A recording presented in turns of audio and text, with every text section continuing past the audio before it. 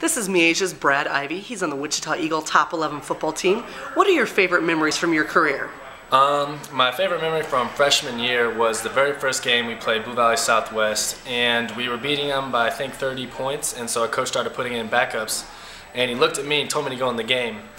And the very first play I was in, I was in a Mike linebacker, and a huge hole opened up in the B gap, and I didn't even know what I was doing. I had only played one freshman game, so I just ran through the hole, and I ended up tackling the quarterback for a loss.